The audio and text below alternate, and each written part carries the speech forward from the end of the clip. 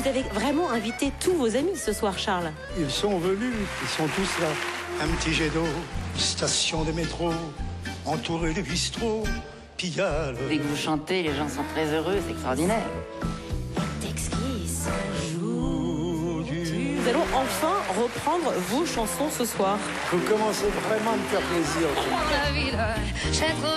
À l'Olympia, les générations communient. Voilà une belle aventure de faire ça. Et tout le monde prend un coup de jeune avec Virginie Guillaume et Charles Aznavour. Merci Charlie. Samedi prochain sur France 2.